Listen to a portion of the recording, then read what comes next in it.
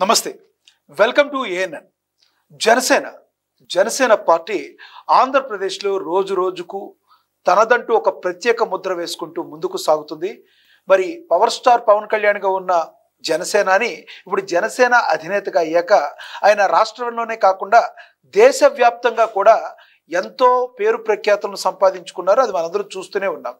Janasena party రాష్ట్రంలో ఇంకా సాధించాల్సింది ఏంటి రాష్ట్రంలో ఒడిదుడుకులు ఏమన్నా ఇంకా ఎదుర్కొంటూ ఉందా? అసలు జనసేనాని రాష్ట్రంకి ఏం చేయబోతున్నారు? ఇలాంటి మరిన్ని విషయాలు చర్చించేందుకు మనతో ఉన్నారు జనసేన అధికార ప్రతినిధి వివేక్ బాబు గారు మనతో ఉన్నారు. ఆయనతో మాట్లాడదాం. వివేక్ బాబు గారు నమస్తే సార్. నమస్తే. ఎలా ఉన్నారు వివేక్ బాబు గారు? బాగున్నానండి. మీరు ఎలా ఉన్నారు? బాగున్నాను. వివేక్ బాబు గారు ప్రధానంగా ఇప్పుడు అందరి నోట ఒకటే మాట. పవన్ కళ్యాణ్ రాష్ట్ర నాయకులే కాదు దేశంలో కూడా ఒక కీలక ఆ, వైన నేతగా ఆయన ఎదుగుతున్నారు అని అందరి నోట రాజకీయ విశ్లేషకుల నోట మాట. మరి ఈ విషయంలో రానున్న రోజుల్లో రాష్ట్రానికి ఆయన దూరం ఏమైనా కాబోతున్నారంటారా? అంటే మనము ఆ సబ్జెక్టు అర్థం అవ్వాలంటే ఆయన ఆలోచన విధానం కూడా ప్రజల పట్ల రాష్ట్రం పట్ల పార్టీ అసలు ఎందుకు పెట్టారు ఆ విషయాలు కూడా ఒక చిన్న రెండు ముక్కల్లో చెప్పాలంటే ఆయన పార్టీ పెట్టాలని ఖుషి తర్వాత నిర్ణయించుకున్నానని వాళ్ళ తల్లిదండ్రులతో చెప్పినప్పుడు వాళ్ళు మనకెందుకు ఈ పార్టీ ఇవన్నీ అంటే నేను మీ అనుమతి అడగట్లేదు నా నిర్ణయాన్ని చెబుతున్నాను అని రెండు వేల ఒకటిలోనే ఆయన ఒక పార్టీ వైపు ప్రజలకు ప్రజలతో ఉండాలి నేను. నాకు ఒక యాక్సిడెంటల్ నటుడు అయినప్పటికీ కూడా నేను ఎక్కువ ప్రజలకు ఏదో మేలు చేయాలి మంచి చేయాలి అది ఒక ప్రభుత్వం ద్వారానే జరుగుతుంది అనే ఆలోచన ఆయనకు అప్పుడే బీజం పడింది. సో దాని తర్వాత జరిగిన పరిణామాలన్నీ మనం కాలగర్భంలో ఏమైతే గమనించామో ఈ రోజు ఆయన మాట్లాడుతున్న దానికి నాడు నేడు కూడా ఆయన టువర్డ్స్ పబ్లిక్ టువర్డ్స్ హ్యుమానిటీ అనేది ఎంతగా కన్సర్న్తో ఉన్నారనేది మనము గతం తాలూకు కొన్ని ఇంటర్వ్యూలలో ఆయన ఆలోచన విధానం చెప్పిన సాక్ష్యాలకు సంబంధించి తెలుస్తూ ఉంది. సో ఆయన పార్టీ ఎస్టాబ్లిష్ చేసిన తర్వాత కూడా ఈ పదేళ్ళ క్రమంలో కూడా ఎప్పుడే కానీ ఆయన వెనక్కి తిరిగి చూడలేదు వెనకడుగు వేయలేదు. టువర్డ్స్ పబ్లిక్ పార్టీకి సంబంధించినది. ఏదైనా సరే నేను నాకు ఒక్క వ్యక్తి నాకు ఇబ్బందుల్లో ఉన్నా కూడా నేను ఎప్పుడూ రెడీగానే ఉంటాను. నా పార్టీ ఎప్పుడూ వారి కోసం పనిచేస్తూనే ఉంటుందనే ఆలోచన పలు సందర్భాల్లో చెప్పడం కూడా జరిగింది. సో ఈ రాష్ట్రంలో ఆయన యొక్క ముద్ర ఈ పదేళ్ళలో ఎలాగైతే జరిగిందో నన్ను నమ్మండి ఈ ఒక్కసారికి నేను చెప్పిన మాట వినండి అని మా క్యాడర్కు చెప్పారు. అలాగే రాష్ట్ర ప్రజలకు కూడా వైసీపీని హఠావ్ వైసీపీ ఖచ్చితంగా ఈ రాష్ట్రం నుంచి బాయ్ బాయ్ వైసీపీ అనే ఒక నినాదాన్ని తీసుకొని దాన్ని పంపించేయాలనే విషయాన్ని ఒక సంవత్సరం పాటు ప్రజల్లోకి నిరంతరంగా చొప్పించడం జరిగింది. సో ఇవన్నీ ఏం తెలుపుతున్నాయంటే ఆయన కమిట్మెంట్ ఏదైనా ఒక నిర్ణయాన్ని తీసుకున్నప్పుడు ప్రజలకు మంచి జరగాలి ఒక భీకరమైన దారుణమైన ఆ, ప్రతీకారేచ్ఛతో రగిలిపోతున్న ఒక పార్టీ ప్రభుత్వంలో ఉంటే ఎంత దారుణమైన పరిస్థితులు తలెత్తుతాయో ఒక మాజీ ముఖ్యమంత్రి స్థాయి నుంచి అట్టడుగున చిన్న స్థాయి వ్యక్తి వరకు కూడా ప్రజాస్వామ్యంలో కనీస హక్కులు లేకుండా హరిస్తారనే కోణాన్ని ఆయన చూపించిన విధానాన్ని బట్టి ప్రజలు ఏకపక్షమైన తీర్పు నూట అరవై నాలుగు ఇచ్చినారు. సో ఇదంతా అర్థమైతే ఏమర్థమవుతుందంటే ఆయన ప్రజలు హండ్రెడ్ పర్సెంట్ యాక్సెప్ట్ చేశారు. ఎందుకు యాక్సెప్ట్ చేశారంటే ఆయనలో ఒక అచిత్తశుద్ధి ఉంది. ప్రజలకు మంచి చేసే ఆలోచనలో ఆయన వెనకడుగు వేయరు. తన సొంత డబ్బును సైతం ప్రజలకు పంచగలరు అనే ఒక కోణాన్ని ప్రజలు నమ్మి విశ్వసించి ఇచ్చారు.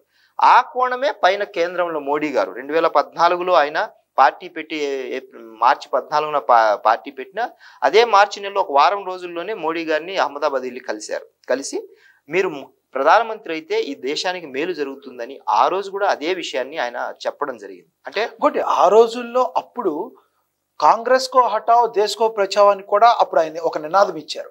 ఆయన ఏదంటూ నినాదం ఇస్తారో ఆ నినాదం అది మార్మ్రోగుతూ అదే జరిగిపోయింది అనడానికి ఆ రోజున కాంగ్రెస్ పార్టీ గల్లంతైంది ఇప్పటికీ అదే పరిస్థితి. అదే చెప్తున్నాను. అంటే మనము రాష్ట్ర విభజన అనే అంశాన్ని ఆ రోజు కాంగ్రెస్ హఠావ్ దేశ్ బచావ్ అన్నాం. ఎందుకంటే ఒక రాష్ట్ర ప్రజల మనోభావాలను ఏమాత్రం కన్సిడర్ లేకుండా ఒక ప్రజల్ని నిర్లక్ష్యపూరితమైన విధానంలో ఏకపక్షం తీసుకున్న నిర్ణయానికి ఆ రోజు అన్ ఆంధ్రప్రదేశ్ రాష్ట్రానికి సంబంధించిన అందరి మనోభావాలు దెబ్బతిన్నాయి. సో ఆ ఏకపక్ష నిర్ణయానికే కాంగ్రెస్ హఠావ్ దేశ్ బచావ్ ఈ రోజుకి అది కోలుకోలేకపోయింది.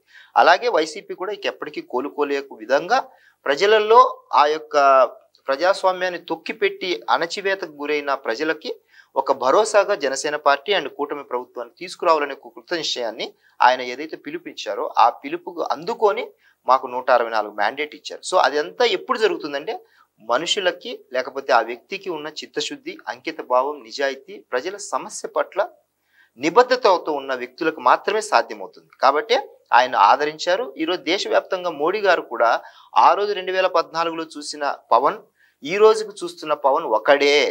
పవన్లో ఆ ఆంధీ ఆ యొక్క తుఫాను తనమతి ఏదైతే ఉందో ఆ తుఫానుకు సంబంధించిన ఈ దేనికి పోల్చారంటే ఆ తుఫానుతో ఆ అంతటి ఆవేశాన్ని అంతటి ప్రకోపాన్ని కూడా ప్రజల సమస్యల పట్ల ఆయనలో కలుగుతుంది అనే ఆ పరోక్షమైన సంకేతాన్ని సాక్షాత్తు మోడీ గారు ఇచ్చారంటే చిన్న విషయం కాదు అది కాబట్టి ఈ రోజు మహారాష్ట్ర ఎన్నికలకు సంబంధించి కానీ దేశవ్యాప్తంగా ఆయనకు ఇతర రాష్ట్ర ముఖ్యమంత్రులు ఆయన ఆహ్వానించే విధంగా ముఖ్యంగా కేంద్ర మంత్రులు సాక్షాత్తు ఆయన ఇంకా ఢిల్లీలో ఉండగానే రాష్ట్రానికి సంబంధించిన నిధులు వెంటనే విడుదల చేయడం అనేది ఇవన్నీ మంచి పరిణామాలే కాదు. ఆయన వ్యక్తిత్వాన్ని పెంపొందించడానికి ఆయన వ్యక్తిత్వాన్ని పదింతలుగా రాష్ట్ర ప్రజలు తనకిచ్చిన తీర్పుని ఆయన ఖచ్చితంగా దాన్ని రాష్ట్ర ప్రజలకు తిరిగి అదే అంకిత భావంతో పనిచేసే విధానాన్ని మనం చూస్తున్నాం.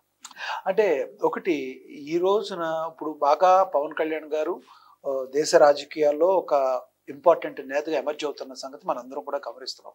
రాష్ట్రంలోకి వచ్చేసేటప్పటికి ఇంకా మీరు కొంత బిల్డ్ చేసుకోవాల్సిన అవసరం ఉంది. ఒక జనసేన పార్టీ అంతర్గతంగా నిర్మించుకోవాల్సిన బాధ్యత ఉంది. ఎందుకంటే ఈ రోజున కొత్త కొత్త యంగ్స్టరం యువతరం నే మీలాంటి యువతరం ఈ రోజున మూల స్తంభాలుగా నిలబడిన పరిస్థితి. ఈనాటి మీరు రేపటి నేతలు అయ్యే అవకాశం ఉంది. మరి ఎంతవరకు సంస్థాగతంగా నిలదొక్కునే అవకాశం ఉంది? ఇంకొకటి ఒక నానుడు ఉంది. నానుడు ఏంటంటే ఒక మర్రి చెట్టు నీడన చిన్న చిన్న మొక్కలు మొలవాలంటే. మరి కష్టం. అలాంటిది మీరు ఒక టీడీపీ లాంటి ఒక పెద్ద వృక్షం ఆ వృక్షం దగ్గర మీరు జర్నీ స్టార్ట్ చేశారు ఇరవై ఒకటి. ఇరవై ఒక్క సీట్లతో హండ్రెడ్ పర్సెంట్ స్ట్రైక్ రేట్తో ముందుకు వెళ్ళారు. మరి టీడీపీ క్యాడర్ని తట్టుకుని మీరు నిలబడతాం అనేది అంత అంటే ఇక్కడ చంద్రబాబు నాయుడు గారు పవన్ కళ్యాణ్ గారు ఇక్కడ ప్రాబ్లం కాదు. ఇక్కడ అంతర్గతంగా ఉన్న లోయర్ క్యాడర్ ప్రాబ్లం ఉంటుంది. ఆ క్యాడర్ని తట్టుకుని ఎంతవరకు మీరు నిలబడగలరు? మీకు సపోర్టు ఎంతవరకు ఉంటుంది? పవన్ కళ్యాణ్ గారి దగ్గర నుంచి అధిష్టానాన్ని దగ్గర నుంచి చెప్తాను. అంటే ఒక పార్టీ ఎమర్జ్ అయిన తర్వాత ఆ పార్టీలోకి రావడం క్యాడర్ రావడం కావచ్చు నాయకులు రావడం కావచ్చు పక్క పార్టీ నుంచి రావడం ఒక ఒక విషయం అయితే ఒక కొత్తగా ఒక క్యాడర్ను తయారు చేసుకోవడం అనేది చాలా చాలా కష్టసాధ్యమైనది. ఎందుకంటే ఆల్రెడీ ఒక రెండు ప్రతి రాష్ట్రంలో రెండే పార్టీలు ఉంటాయి. అంటే మేజర్ పార్టీలు. ఆ రెండు పార్టీలకే క్యాడర్ ఉంటుంది. ఒకవేళ క్యాడర్ డెవలప్ అయినా కూడా ఈ పార్టీలో నుంచి ఆ పార్టీకి ఆ పార్టీలో నుంచి ఈ పార్టీకి వస్తుంది. ఇప్పుడు రాష్ట్రంలో రెండు పార్టీలు ప్రధానంగా ఉన్నప్పుడు అంటే జనసేన రాకముందు కాంగ్రెస్ అండ్ టీడీపీ ఉన్నాయి. సో నలభై ఏళ్ళగా టీడీపీకి ఒక సంస్థాగతమైన ఓట్ బ్యాంకు స్థిరమైన ఓట్ బ్యాంకు టీడీపీకి ఉంది. కాంగ్రెస్ కూడా అలాగే ఉన్నది. ఎప్పుడైతే కాంగ్రెస్ వెళ్ళిపోయిందో పద్నాలుగు తర్వాత ఎప్పుడైతే వైసీపీ రూపంలో పిల్ల కాంగ్రెస్ అనేది ఉద్భవించిందో కాంగ్రెస్ నాయకులు క్యాడరు మొత్తం వైసీపీకి టర్న్ అయ్యారు. వైసీపీ కంటే సపరేట్ ఓట్ బ్యాంక్ లేదు. వైసీపీకి సపరేట్ క్యాడరు లేదు. కాంగ్రెస్ యాజ్ ఇట్ ఈస్గా కాపీ పేస్ట్ అయింది. అయితే వేరే జనసేన దగ్గరకు వచ్చి ఏం జరుగుతుందంటే నేను ఏ రాజకీయ పార్టీలో కానీ నా మా ఫ్యామిలీస్లో కానీ ఎవరే కానీ రాజకీయ పార్టీ అలాంటి నేపథ్యం లేదు. లేదు. మరి మేమందరం మాలాంటి వాళ్ళందరం ఈ రోజు ఎమర్జ్ అయ్యి ఈ రోజు నాయకత్వాన్ని బలోపేతం చేసుకునే క్రమంలో జనసేన పార్టీలో పని చేస్తున్నామంటే మాదొక కొత్తగా ఏర్పడిన క్యాడర్. కొత్తగా ఏర్పాటు అవడానికి సమయం పడుతుంది. దాన్ని నిలబెట్టుకోవడానికి చాలా రకాలైన ఇబ్బందులు పడతాయి ఎప్పుడు డబ్బు లేకోకుండా సామాజిక వర్గాలు అణిచివేతకు గురవుతున్న బలు బడుగు బలహీన వర్గాలను క్యాచ్ చేసుకుంటూ ఒక కొత్త క్యాడర్ని బిల్డ్ చేయడం అనేది చిన్న విషయం కాదు. అది చాలా టైం పట్టే విషయం. అయినప్పటికీ కూడా మేము ఆరు శాతం ఓట్ బ్యాంకుతో పంతొమ్మిదిలో ఇప్పుడు six point eight seven percent vote బ్యాంకుతో బిల్డ్ చేసుకుంటూనే డబ్బు లేని రాజకీయాన్ని కూడా పరిచయం చేసుకుంటూ మా అంతటి మేమే పార్టీ కార్యక్రమాలకు ఖర్చు పెట్టుకుంటూ చేస్తున్నది రాజకీయ పార్టీ దేశంలో ఏదీ లేదు. ఆ విషయంలో మేము గర్వపడుతూనే మేము సంస్థాగతంగా బలోపేతం చేసుకుంటే మాలాంటి ఐడియాలజీ ముఖ్యం ఇక్కడ. మిగతా పార్టీలతో జనసేన పార్టీని ఎందుకు భిన్నంగా చెప్పగలము మేము గర్వంగా అంటే మాకు కొన్ని విలువలతో కూడిన ఒక రాజకీయ పార్టీగా మా అధినేత మాకు కొన్ని గీతలు గీశారు. అసభ్యకరమైన మాట్లాడకూడదు మహిళలు పిల్లల జోలికి వెళ్ళకూడదు. కేవలం అంశాలు సిద్ధాంతాల పరంగా మాత్రమే మీరు మాట్లాడాలి వాయిస్ ఎప్పుడు ఎవరైనా సరే బహిరంగ వేదికలైనా అంతర్గతంగా. ఎవరైనా సరే.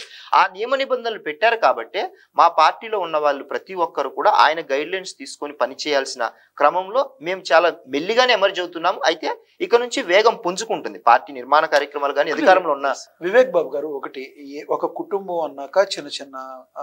ప్రాబ్లమ్స్ అనేవి ఉంటాయి. అయితే మీ జనసేన పార్టీలో కూడా ఇంతటి మహిళలకి ఇంత పెద్దపీట వేసే జనసేన పార్టీలో మహిళల విషయంలో కొన్ని మీ అధికార ప్రతినిధుల్లో ఇబ్బంది పడిన పరిస్థితులు మీరు కూడా చూసుంటారు. ఎలాంటి ఎన్నికల ముందు జరిగిన అవి కూడా మీకు తెలుసు. ఉదాహరణకి చెప్పడమే మీ రాయపాటి అరుణ గారు ఉన్నారు. మీ రాయపాటి అరుణ గారు మీ పార్టీలో వాళ్ళ నుంచి థ్రెడ్నింగ్ ఎదుర్కొన్నారు. అది ఎన్నికల ముందు ఎదుర్కొన్నారు. ఎన్నికల తర్వాత కూడా కొన్ని పరిస్థితులు ఆవిడ మీదకి వెళుతున్న పరిస్థితిని ఏ రకంగా నిరోధించగలిగారు? మరి ఇప్పుడు నిరోధించగలిగారా? లేదంటే ఏంటి అసలు కొంతమందికి న్యాయం జరుగుద్దా? లేదంటే అందరికీ న్యాయం జరుగుద్దా పార్టీలో? బయట నుంచి రాజకీయాలకు చేసే ఆరోపణలో నిజమేమన్నా ఉందా? చెప్తారా ఈ విషయంలో? అయితే ఇప్పుడు మీరు రాయపాటి అరుణ గారు మా అధికార ప్రతినిధి గారి పేరు తీశారు కాబట్టి చెప్తున్నాను. ఆవిడకి అంటే ఒక గ్రామీణ నేపథ్యము పార్టీ కోసం అగ్రెసివ్గా పనిచేసిన విధానంలో ఆమె ఖచ్చితమైన పార్టీలో ఒక ఇన్ఫ్లుయెన్షియల్ రోల్ పోషించింది గత నాలుగు ఐదు సంవత్సరాలుగా. సో తను తనకిచ్చిన పదవి బాధ్యతల్లో హండ్రెడ్ పర్సెంట్ పని చేయగలిగింది. అది అందరికీ తెలిసిన విషయమే. అయితే ఆ క్రమంలో స్థానికంగా కావచ్చు కొందరు బయట నుంచి కావచ్చు ఆమె మీద కొన్ని లేనిపోని అపోహలు నిందారోపణలు చేసినప్పుడు సహజంగానే మహిళగా రాజకీయాలలో ఎమర్జ్ అయ్యే సమయంలో కుటుంబ నేపథ్యం నుంచి కూడా బయట వాళ్ళు చేస్తే ప్రాబ్లం చెప్తున్నాను మీ పార్టీలో వాళ్ళే కొంతమంది. టార్గెట్ చేశారనే మాటలు చెప్తున్నాను అయితే తన మీద కొన్ని రకాలైన టార్గెటెడ్గా జరిగిన కార్యక్రమాలు కొన్ని అయితే దాడి జరిగిన విషయాన్ని ఆమె ప్రత్యేకంగా అధిష్టానం దృష్టికి తీసుకెళ్ళింది. అలాగే కొన్ని విషయాలు నా వ్యక్తిగతానికి సంబంధించిన విషయం అంటూ కూడా ఆమె ఒక సందర్భంలో మీడియాకు కూడా ఇచ్చిన వివరణ ఇవ్వడం జరిగింది. ప్రతి అంశాన్ని కూడా అధిష్టానం అనేది పరిశీలిస్తుంది. ముఖ్యంగా కళ్యాణ్ గారు మహిళల విషయంలో ఎలాంటి సెకండ్ ఒపీనియన్ కూడా తీసుకోరు. ఖచ్చితంగా వారి పక్కన నిలబడడం అనేది హండ్రెడ్ పర్సెంట్ గ్యారంటీ. అయితే వారికి జరిగిన విషయంలో ఇప్పటికీ అది ఓపెన్ గానే ఉంది ఆ విషయము అంటే నిర్ణయం తీసుకునే విషయంలో. ఆ ఆవిడకి జరిగిన ఏదైతే తప్పులు కానీ లేకపోతే అన్యాయం కానీ ఆమె బాధపడిన సంఘటనలు కానీ వాటి మీద పార్టీ క్రమశిక్షణ చర్యలు అండ్ రివ్యూ కూడా జరిగింది. సో దాని మీద ఎలాంటి నిర్ణయం తీసుకుంటుంది అనేది త్వరలో మనము చూస్తాం సో అంతర్గతంగా చిన్న చిన్నవి ఉన్నప్పటికీ కూడా స్ట్రాంగ్ అవుతుంది కంపల్సరీ రానున్న రోజుల్లో మరింత బలోపేతం జనసేన అయ్యే అవకాశం ఉందంటారు అంటే నేను మీకు కొన్ని ఇప్పుడు అందుకే సాక్ష్యాలుగా చెప్పాను Mm. బలోపేతం అవ్వడానికి మాకు రెండు వేల పద్నాలుగు నుంచి ఇరవై నాలుగు ఎన్నికల మధ్యలో జరిగిన ఆ పంతొమ్మిది ఎన్నికలు మొదటి ఎన్నికలు మేము ఫేస్ చేసాం Mm. రెండో ఎన్నికకు వచ్చేసరికి మేము కూటమి ప్రభుత్వంలో అధికారం లేకొచ్చాం. అధికార భాగస్వామ్యం లేకొచ్చాం దట్టు హండ్రెడ్ పర్సెంట్ స్ట్రైక్ రేట్తో వచ్చాం అంటే ఈ మధ్యలో మేము ఒక ఎన్నిక ఫేస్ చేసి రెండో ఎన్నికకి అధికారం చేరడానికి మా పోరాటం కావచ్చు మా పంధా కావచ్చు మేము ప్రజలకు ఇచ్చిన మాట విషయంలో మమ్మల్ని ప్రజలు నమ్మిచ్చిన మ్యాండేట్ విషయంలో Hmm. మేము ఖచ్చితంగా అందులో గెలిచినట్టే కదా. Hmm. సో మేము సంస్థాగతంగా ఇంకా మేము బిల్డ్ అవ్వాల్సిన విషయం ఉంది. ఆ సంస్థాగతంగా బిల్డ్ అయ్యే క్రమము వచ్చే జనవరి నుంచి పార్టీ పరంగా కూడా ప్రతి విషయంలో సంస్థాగతంగా బలోపేతం అయ్యే కార్యక్రమాలు మొదలెట్టబోతున్నాం. అది వేరే సపరేట్గా జరుగుతుంది. అది ప్యారల్గా చేసుకుంటూనే వెళ్తాం. ఈ ఆరు నెలల కాలంలో కళ్యాణ్ గారు ప్రభుత్వంలో స్థిరపడడానికి ఒక ఐదు నెలలు ఒక ఐదు శాఖలుగా ఆయన పనితీరు ఎలాగ ఏ శాఖకులో ఎంతెంత ఇబ్బందులు ఉంటాయి ఎంత మేలు చేయొచ్చు అనేది విత్ అధికారులతో ఎప్పటికి ప్రతిరోజు సమీక్షలు చేసుకుంటూనే వాళ్ళకి సపరేట్గా ఒక ఒక డెడ్ లైన్ గీయడం గీసింది. సో పంచాయతీరాజు గ్రామీణాభివృద్ధికి సంబంధించినది గ్రామానికి పట్టుకోమలంటూ గాంధీ గారు ఇచ్చిన పిలుపుని అందుకొని మూడు వేల ఐదు వందల కోట్ల డబ్బులు సారీ నాలుగు వేల ఐదు వందల కోట్ల డబ్బులు ముప్పై ఐదు వేల పనులు చక్కబెట్టే కార్యక్రమం జమన్ జనవరి కల్లా తీసుకోవడం జరుగుతుంది. ఓకే. సో రోడ్లను ఒక అద్దాల్లాగా తయారు చేస్తున్నాం గ్రామాల్లో. You can see now. So గ్రామాలలో సిమెంట్ రోడ్లు శాశ్వత ప్రతిపాదన పోయిన గవర్నమెంట్లో మట్టి వేయలేదు. కాంక్రీట్ కాదు రోడ్డు తర్వాత విషయం. పిడికెడు మట్టి వేయలేదు. సో మేము శాశ్వత చాలా రోడ్లు చాలా డేంజరస్గా తయారైన రాష్ట్రం మొత్తము. కానీ వాళ్ళు అంకెల్లో చూపించిన దానికి బడ్జెట్ అంకెలకి జరుగుతున్న క్షేత్రస్థాయిలో జరిగిన దానికి సంబంధమే లేదు. సో ఆ ఆస్పెక్ట్లో ఐదు శాఖలకు సంబంధించిన పనితీరును ఉప ముఖ్యమంత్రిగా ఆయన రోలు చాలా పకడ్బందీగా చేస్తున్నారు. సో ఈ ఐదు శాఖలతో పాటు రాష్ట్రాన్ని మొత్తాన్ని కూడా ఒక ఓవర్ వ్యూలో second highest position in the గవర్నమెంట్గా ఆయన హైయెస్ట్ పొజిషన్ సెకండ్ పొజిషన్లో ఉన్నారు కాబట్టి తన ఐదు శాఖలే కాకుండా మిగతా శాఖల పట్ల కూడా ఏం జరుగుతుంది అంటూ జనవాణి నుంచి స్వీకరిస్తున్నాము. జనవాణిలో జరిగే ప్రతి ఇష్యూ కూడా పబ్లిక్గా వాళ్ళకి పబ్లిక్ తిరిగి న్యాయం జరిగిందా లేదా ఒక మానిటరింగ్ అదొక సిస్టమ్ కూడా రన్ అవుతూనే ఉంది. సో మేము ఎప్పటికప్పుడు ప్రజలకు జవాబుదారీతనంలో విషయంలో అకౌంటబిలిటీ విషయంలో ఖచ్చితమైన నియమ నిబంధనలు పాటిస్తూనే మేము ప్రజలకు నిత్యం అందుబాటులో ఉంటాననే సంకేతాన్ని పంపిస్తున్నాం. రైట్ ఇంకొకటి ఇప్పుడు బాగా మొన్నటి వరకు ట్రెండ్ ఏది నడిచిందంటే seize the ship seize the ship అని పవన్ కళ్యాణ్ గారు ఏ ముహూర్తాన్ని అన్నారో అది ఒక ట్రెండ్ అయింది. కాకినాడ నగరంలో జరుగుతున్న ఆక్రమణ మీద గురిపెట్టింది పవన్ కళ్యాణ్ గారు ఇప్పుడు కాదు. ఆయన ఎప్పుడో గురిపెట్టారు. మరి ద్వారంపూడి చంద్రశేఖర్ రెడ్డి గారికి ఆయన వార్నింగ్ కూడా ఇవ్వడం జరిగింది. మరి ఇప్పుడేమో మాకు అధికారంలోకి వచ్చిన తర్వాత కొంతమంది అధికారులు మాకు సహ సహకరించట్లేదని పవన్ కళ్యాణ్ గారు చెప్పిన మాటల్ని ఏ రకంగా చూస్తారు? ఒక రకంగా చెప్పాలి అంటే టీడీపీ పార్టీని ఇరుకున పెట్టే విధంగా పవన్ కళ్యాణ్ గారు ప్రవర్తించారు అని బయట నుంచి వస్తున్న మాటల్ని ఎలా చూస్తారు? అంటే సాక్షాత్తు చంద్రబాబు గారు అధికారం లేకొచ్చిన ఫస్ట్ మీటింగ్లోనే అనుకుంటా. నేను తప్పు చేసిన అలాగే మా పార్టీలో తప్పు చేసిన కూటమి ప్రభుత్వంలో ఎవరు తప్పు చేసినా తన పర భేదం ఉండదని చంద్రబాబు గారు ఓపెన్గా చెప్పారు. కళ్యాణ్ గారు నేను తప్పు చేసినని అసెంబ్లీ సాక్షిగా చెప్పారు. అంటే ఇప్పుడు రెండు రకాల రెండు కలిపితే ఏమవుతుందో తెలుసా? అవుట్పుట్. కూటమి ప్రభుత్వంలో ఎవరు తప్పు చేసినా ఫస్ట్ పాయింట్ స్పేర్ చేసేది లేదు. రెండో విషయంకి వచ్చేసరికి ఎవరైతే ఈ అక్రమ రవాణాకు సంబంధించిన ఏదైతే తేనె తుట్టుందో ఇది కొన్ని లక్షల కోట్ల వ్యాపారం. కొన్ని సంవత్సరాలుగా దీన్ని ఎవరూ టచ్ చేయలేదు. ఎందుకు టచ్ చేయలేదంటే ఇందులో కింద స్థాయి నుంచి పై స్థాయి వరకు ఒకటి డబ్బులతో కొను రెండు బెదిరించు మూడోది కుదరకపోతే రెండు కుదరకపోతే మూడోది చంపేయి. ఈ వ్యవస్థ అనేది బియ్యం అక్రమ రవాణాలో కాకినాడ కేంద్రంలో కొన్నేళ్ళుగా జరుగుతుంది. దానికి సంబంధించి ఆ ఈ ద్వారంపూడి వారి అనుచరులు వారి బంధువర్గం. రైస్ రైస్ మిల్లర్ అసోసియేషన్ మెంబర్స్గా ఉండి ఎక్కడెక్కడ రైస్ ఎలా ప్రొక్యూర్ చేయాలి? ఎలాగ దాన్ని డంప్ చేయాలి? ఎలా ఎక్కించాలి? ఒకవేళ ఎక్కించే క్రమంలో ఏమేమి అడ్డంకులు వస్తాయి? ఆ అడ్డంకులు ఎలా తొలగించాలి? దేనితో తొలగించాలి? వీటినన్నిటినీ వీటినన్నిటినీ కొన్ని ఏళ్ళ పాటు వాళ్ళు బ్యాలెన్స్డ్గా కరెక్ట్గా చేసుకుంటూ వెళ్తున్నారు. సో అక్కడ రైస్ ఇన్పుట్ ఎంత వస్తుంది ఎన్ని లారీలు ఎన్ని టన్స్ వస్తున్నాయి? ఎలా వెళ్ళాలి? ఎలా ఎక్కించాలి? సో దాని మీడియేటర్లుగా ఎవరెవరు ఉన్నారు ఈ మధ్యలో? ఏ ఏ శాఖల వాళ్ళకి ఎంతెంత డబ్బు ఇవ్వాలి? ఇందులో కేంద్ర అది కేంద్ర పాత్ర ఎందుకు ఉందంటే ఆ రోజు కళ్యాణ్ గారు మీరు స్వయంగా చూస్తే ఆయన అడిగిన వివరాలు ఏవి ఆ రోజు అధికారుల దగ్గర లేదు. అవును. ఎంత ఇన్పుట్ వచ్చింది బియ్యం అంటే చెప్పలేదు. కలెక్టర్ గారిని ఇచ్చిన ఆర్డర్స్ పేపర్ మీద ఉందా అంటే లేదన్నారు సో ఆ రోజు అడిగిన ఐదు ప్రశ్నలకి సమాధానం లేదు అధికారుల దగ్గర. అంటే దాంట్లో క్లియర్గా ఏం అర్థమవుతుంది? కాకినాడ రెండు వేల రెండు వందల ముప్పై ఎకరాలు కలిగిన ఒక గవర్నమెంట్కు సంబంధించిన అతి పెద్ద పోర్ట్లో. పది పదిహేను మంది సెక్యూరిటీ ఉండడాన్ని ఏమి సూచిస్తుంది? అక్కడ ఏమైనా దేశంలోకి ఉగ్రవాదులు చొరబడే అవకాశం ఉంది. కోస్ట్ ఏరియాల నుంచి స్మగుల్ గూడ్స్ లేకపోతే నార్కోటిక్స్ డ్రగ్స్ ఇలాంటివి వచ్చే అవకాశం హండ్రెడ్ పర్సెంట్ ఉంది. సో ఇవన్నీ దేశానికి థ్రెట్ కాబట్టే ఇలాంటి అక్రమ రవాణాకు సంబంధించి నేను కావాలంటే కేంద్రం హోంశాఖతో కూడా మాట్లాడగలను. దీన్ని ఇమీడియట్గా చర్యలు తీసుకోవాలనే కోణంలో సీజ్ ద షిప్ అని అన్నారు. సో ఇక్కడ మనం ఇంకొక కోణం ఏం చూడాలంటే మనకు చట్టాలు అనేటివి ఆ, ఈ అక్రమ రవాణాకు సంబంధించి జస్ట్ సంవత్సరం రెండేళ్ళ శిక్షకు. దీన్ని ముందు స్ట్రెంథెన్ చేసుకోవాల్సిన విషయం ఉంది. సెక్షన్లను చట్టాలను బలోపేతం చేయాలి. కేంద్ర ప్రభుత్వానికి సంబంధించిన కొన్ని అధికారాలు మనకు కూడా బదలాయించాలి రాష్ట్ర ప్రభుత్వానికి. ఎందుకంటే తొమ్మిది వందల డెబ్బై నాలుగు సి సముద్ర ప్రాంతం కలిగిన మన రాష్ట్రంలో ఏదైనా అవాంఛనీయ ఘటనలు జరిగినప్పుడు ఒట్టి కేంద్రం మీదనే వేయడానికి లేదు నెపం. ఎస్ ఇలాంటివి జరిగినప్పుడు మన రాష్ట్ర ఖజానా నుంచి పోయే డబ్బు కాబట్టి ప్రజలకు చేరాల్సిన డబ్బు కొందరు స్వార్థపరుల జోబుల్లోకి వేల కోట్ల డబ్బులు వెళ్తూ వ్యవస్థలన్నిటిని నిర్వీర్యం చేస్తూ వాళ్ళకు నచ్చినట్టుగా ప్రవర్తిస్తున్నప్పుడు మనకు కూడా అందులో భాగంగా ఉన్న ఆ డబ్బుని ప్రజలకు తిరిగి అప్పగించే క్రమంలో మాకు కూడా కొన్ని చట్టాలు మార్పు కావాలి మాకు కొన్ని అధికారాలు కావాలనేది మా పార్టీ అధినేతగా ఉప ముఖ్యమంత్రిగా ఆయనకు కొన్ని విషయాలు కేంద్రం ద్వారా చర్చించడం జరిగింది. ఇక్కడ సీజ్ ద షిప్ అని పవన్ కళ్యాణ్ గారు అనగానే ఆల్రెడీ సీజ్ అయిన షిప్ని మీరు సీజ్ ద షిప్ అంటారు. పవన్ కళ్యాణ్ గారికి అసలు అసలు వాటి మీద నాలెడ్జ్ ఉందా? అని చెప్పి మాట్లాడిన పేరు నాని గారిని కానీ అంబటి రాంబాబు గారిని కానీ ఎలా చూస్తారు మీరు? కళ్యాణ్ గారు వెళ్ళినది ఏ తారీఖు? నవంబర్ ఇరవై ఎనిమిది వెళ్ళారు. కానీ ఇరవై ఎనిమిదిన సీజ్ ద షిప్ అన్నారు. కలెక్టర్ గారు సీజ్ షిప్ని సీజ్ చేయలేదు. కలెక్టర్ గారు అంత ముందు రోజు. ఇరవై ఏడవ తారీఖున రైస్ వాజ్ సీజ్డ్ అని ఉంది. Rice bags were seized. కావాలంటే మీరు చూడండి. సీజ్ కలెక్టర్ గారు చేయలేరు. చేయలేదు. కానీ కళ్యాణ్ గారు షిప్ని సీజ్ చేస్తామన్నారు. కానీ అంతకు ముందు రోజు బియ్యాన్ని సీజ్ చేశారు. సో వీళ్ళకు ఆ రెండిటికి తేడా తెలియక ఆ రోజు వీళ్ళు మాట్లాడి ఈ వంకర మాటలు అంతే అంతకు మించి ఏమీ కాదు. దట్టు మేము ఎందుకు అదే అంటున్నాం.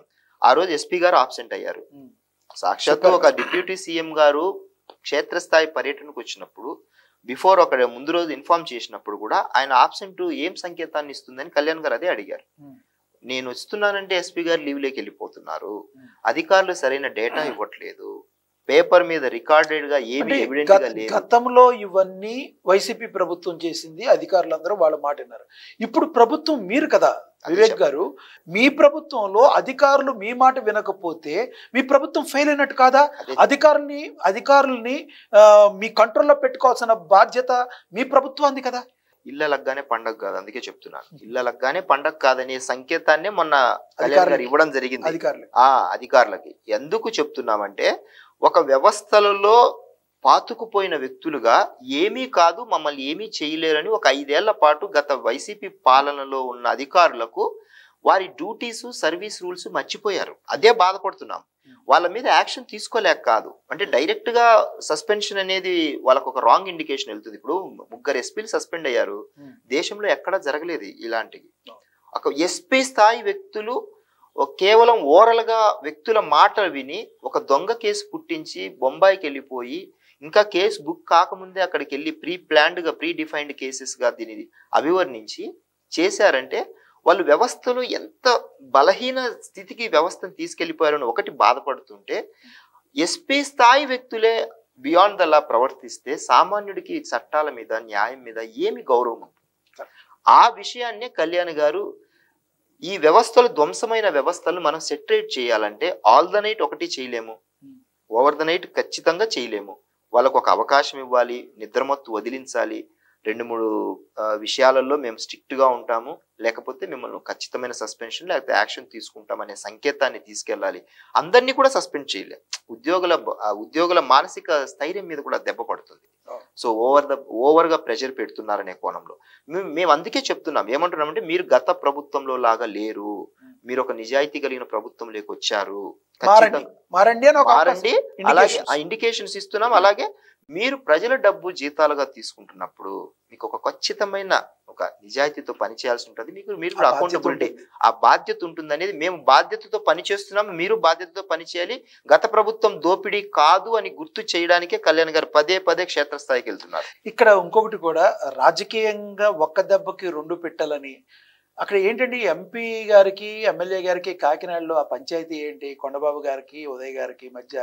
ఇప్పుడు పవన్ కళ్యాణ్ గారు వచ్చి ఆ తప్పుని లేవదీస్తూ ఎమ్మెల్యే కొండబాబు గారికి చెక్ పెట్టారని రానున్న రోజుల్లో కాకినాడ మీద పూర్తి ఆధిపత్యం జనసేనకేనని రానున్న రోజుల్లో అసలు జనసేన హవా కాకినాడలో నడవబోతుందని వస్తున్న మాటల్లో వాస్తవం ఉందంటారా? అంటే ఇప్పుడు సహజంగా దానికి చిన్న ఉదాహరణ ఇప్పుడు మన ఇంట్లో నలుగురు ఉంటాము. మా అన్న ఒకలాగా ఆలోచిస్తాడు మా తమ్ముడు ఒకలాగా ఆలోచిస్తాడు లేకపోతే మా సిస్టర్ ఒకలాగా ఆలోచిస్తారు మా పేరెంట్స్ ఒకలా ఆలోచిస్తారు. అందరి అభిప్రాయాలు ఒకేలా ఉండాలని లేదు. ఒక కుటుంబంలో నలుగురు ఉన్న కుటుంబంలోనే. కూటమి ప్రభుత్వంలో మూడు పార్టీలు ఉన్నాయి. వెయ్యి మంది నాయకులు ఉన్నాము. వెయ్యి మంది నాయకులు రకరకాల ఆలోచనలతో ఉంటారు. ఆధిపత్యం అని కాదు కానీ మా యొక్క స్థానాన్ని పదిలపరుచుకోవాలనే ఒక ఆకాంక్ష ఉంటుంది.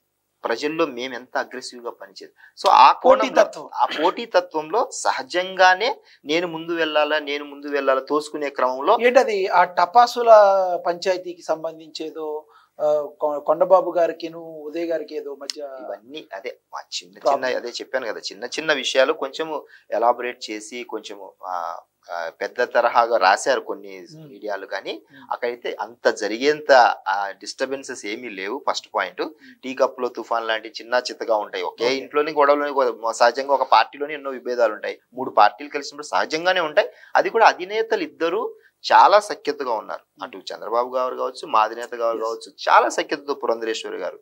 ముగ్గురు కూడా ఏ సమస్య వచ్చినా ముగ్గురు మాట్లాడుకుంటున్నారు. సో అంతిమంగా అధినేతల మాట వినాల్సిందే కదా నాయకత్వాలు కింద ఉన్న నాయకత్వం ఎవరిదైనా సరే. ఒక్కొక్కసారి అధినేతలకు కూడా కింద స్థాయి క్యాడర్ సంతృప్తి లేకపోతే ఇబ్బందులు తలెత్తిన పరిస్థితులు కోకలుగా ఉన్నాయి కాదంటారా అంటే అధినేతలకు ఎవరు క్యాడర్ ఇబ్బంది పెట్టారంటారా క్యాడర్ కింద స్థాయి క్యాడర్ కలవలేకపోతే ఓకే ఇప్పుడు మీది కూటమి ప్రభుత్వం కింద స్థాయి క్యాడర్లో అలజడి ఓన్లీ టీడీపీనో ఓన్లీ జనసేన అంటే దాన్ని మీరు హ్యాండిల్ చేయగలరు. కానీ టీడీపీ జనసేన బీజేపీ. మూగుడు మూడు కావాలి. ముగ్గురుకు కావాలి. ఇది కత్తి మీద సాము లాంటిది. ఇది కింది స్థాయి కేడర్ సహకరించకపోతే అధిష్టానానికి తలనొప్పులు వచ్చే అవకాశం అంటే ఒకటి చంద్రబాబు గారు ఎవ్రీ సాటర్డే మంగళగిరి తన పార్టీ ఆఫీస్లో క్యాడర్ని నాయకుల్ని కలుస్తున్నారు.